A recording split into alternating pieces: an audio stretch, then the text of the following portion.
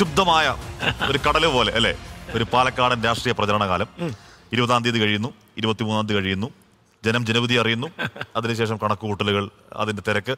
ഇപ്പം മനസ്സിലെന്താണ്? ഒരു ഒരു സ്വാസ്ഥ്യമാണോ അതോ ഇച്ഛാഭംഗം ഉണ്ടോ ഇച്ഛാഭംഗം എന്ന് പറയുന്ന വാക്ക് ഇച്ഛകൾ ഉള്ളവർക്കുള്ളതാണല്ലോ നമുക്ക് നിയോഗങ്ങളിലെ ശരികൾക്കൊപ്പം നിൽക്കുക എന്നുള്ളതാണ് നമ്മുടെ ഉത്തരവാദിത്തം ആ ഉത്തരവാദിത്തങ്ങൾ ഓരോ കാലഘട്ടത്തിലും നിർവഹിച്ചുകൊണ്ടേ പോവുക എന്നുള്ളത് കൊണ്ട് തന്നെ അങ്ങനെ ഒരു വികാരം ഉണ്ടായിട്ടില്ല ജീവിതത്തിൽ ഒരു കാലത്തും. അപ്പം അതുകൊണ്ട് അതില്ല. എങ്കിലും ഡോക്ടർ പി താങ്കൾ ആ ഇരുപതാം തീയതി മുതൽ ഇരുപത്തി മൂന്നാം തീയതി വരെയുള്ള തീയതികളിൽ താങ്കൾ മാധ്യമങ്ങളോട് സംസാരിക്കുമ്പോൾ എന്ന് പറഞ്ഞാൽ അത്രത്തോളം എന്താണ് വിശ്വസിക്കത്തക്ക രീതിയിൽ അസെപ്റ്റ് ചെയ്ത് പറയുകയായിരുന്നു. ഇപ്പം ഇന്ന സ്ഥലങ്ങളിൽ ഇത്ര വോട്ടുകൾ കിട്ടാൻ പോകുന്നു അതിന് മൊത്തം വോട്ടുകൾ ഇത്രയാണ്. കോൺഗ്രസ് സ്ഥാനാർത്ഥിക്ക് പോകാൻ പോകുന്ന വോട്ടുകൾ ഇവിടെ നിന്നാണ് ബി ജെ പി സ്ഥാനാർത്ഥിക്ക് നഷ്ടപ്പെടാൻ പോകുന്നത് ഇത് ഇവിടെ നിന്നാണ് ആദ്യ ആദ്യ രണ്ട് റൗണ്ടുകൾ ബി ജെ പി മുന്നിലെത്തും. എന്നിങ്ങനെ താങ്കൾ അസെപ്റ്റ് ചെയ്ത് പറയുകയായിരുന്നു. അത് ഒരു സൂപ്പർ കോൺഫിഡൻസ് മോഡിൽ അത് യഥാർത്ഥത്തിൽ അത്ര കോൺഫിഡൻസ് ഉണ്ടായിരുന്നോ അതോ അണികൾ കോൺഫിഡൻസ് നൽകുക എന്നായിരുന്നു ഉദ്ദേശം? അത് അങ്ങനെയല്ല. അത് നമ്മുടേതായിട്ടുള്ള അനുമാനങ്ങളാണല്ലോ. നമുക്ക് ഒന്നര അഞ്ചാഴ്ചക്കാലം ഫീൽഡിൽ നിന്നപ്പോൾ കിട്ടിയ ഒരു ഒരു ഫീഡ്ബാക്ക് അതിനെ അടിസ്ഥാനപ്പെടുത്തിക്കൊണ്ട് നമുക്ക് ചില നിഗമനങ്ങൾ വരും.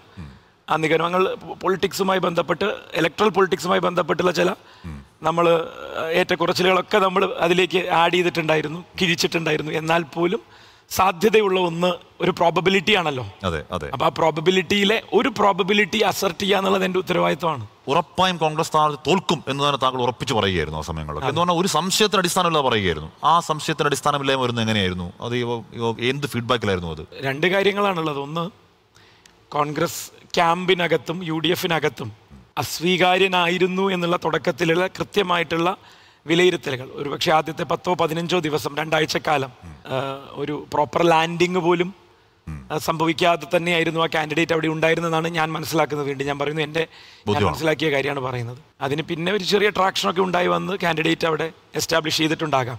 അപ്പോൾ ആ ഒരു പൊരുത്തക്കേട് യു ഡി എഫ് മുന്നണിയിലാണെങ്കിലും ശരി കോൺഗ്രസ് എന്നുള്ള പ്രസ്ഥാനത്തിലാണെങ്കിലും ശരി ആ ഒരു അസ്വീകാര്യതയെ വോട്ടാക്കി മാറ്റാൻ പറ്റും അവസാനം വരെയും എന്നുള്ള ഒരു പ്രതീക്ഷയുണ്ടായിരുന്നു.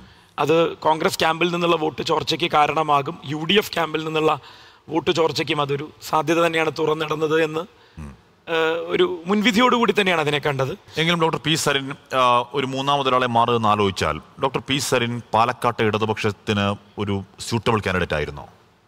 അല്ലേ? ആയിരുന്നോ? വോട്ട് കുറഞ്ഞിട്ടില്ല. ആ വോട്ട് പക്ഷേ കാര്യമേ കൂടിയിട്ടില്ല. ചേലക്കരയിൽ ഏകദേശം മൂന്നിലൊന്നായി ഭൂരിപക്ഷം കുറഞ്ഞു. മൂന്നിലൊന്നിലും താഴെയായി കുറഞ്ഞു. അങ്ങനെയാണ് അതിന്റെ കണക്ക് പറയേണ്ടത്. ആ സമയത്ത് എണ്ണൂറ്റി അറുപത് വോട്ട് തൊട്ട് മുന്നത്തെ അസംബ്ലി ഇലക്ഷനിൽ നിന്ന് കൂടുക പാർലമെന്റ് ഇലക്ഷനിൽ നിന്ന് അതിനേക്കാൾ രണ്ടായിരത്തിലേറെ വോട്ടുകൾ കൂടുക എന്ന് പറയുന്നത് ഇടതുപക്ഷത്തെ ഇടതുപക്ഷത്തിന്റെ ക്യാമ്പയിനെ ഇടതുപക്ഷമാണ് പാലക്കാട് പറയുന്ന ശരികളുടെ ഏറ്റവും കൃത്യമായ കാര്യങ്ങൾ അവതരിപ്പിക്കുന്നത് എന്നുള്ള ജനങ്ങളുടെ വിലയിരുത്തലുണ്ട് എങ്കിലും ആ- ക്യാമ്പയിൻ കാലയളവിൽ മുന്നിട്ട് നിന്ന ഒരു മുന്നണി എന്നുള്ള നിലയ്ക്ക് സ്ഥാനാർത്ഥി എന്നുള്ള നിലയ്ക്ക് പാലക്കാട് സി പി എമ്മിന് തീരെ ബേസില്ലാത്ത സ്ഥലമൊന്നുമല്ല. മുൻകാലങ്ങളിൽ വലിയ സ്വാധീനം ഉണ്ടായിരുന്ന സ്ഥലമാണ്. ആ സ്വാധീനം ഉണ്ടായിരുന്ന സ്ഥലത്ത് സരനെ പോലെ അവർക്ക് ആ സമയത്ത് കിട്ടാവുന്ന ഏറ്റവും ടോപ്പായ ഒരു കാരഡിനെ കിട്ടിയിട്ടും അത്ര വോട്ട് മാത്രമേ കൂട്ടാൻ കഴിഞ്ഞുള്ളൂ എന്ന് പറയുന്നത് ഒരു വിമർശനത്തിന് അതിന് കാരണങ്ങൾ വേറെയും ഉണ്ടാകാം. എന്തുകൊണ്ട് വോട്ട് നമ്മൾ പ്രതീക്ഷിച്ചത്ര കൂടിയില്ല എന്നുള്ളത് ആ കാരണങ്ങൾ നമുക്ക് ചർച്ച ചെയ്യുകയും ചെയ്യാം. പക്ഷേ എന്തിനൊരാൾ കോൺഗ്രസ് വിട്ട് ഇടത് രാഷ്ട്രീയം പറയുന്നു എന്നുള്ളതിനെ മുന്നോട്ട് വയ്ക്കാൻ ഇടതുപക്ഷം തീരുമാനിക്കുകയായിരുന്നു.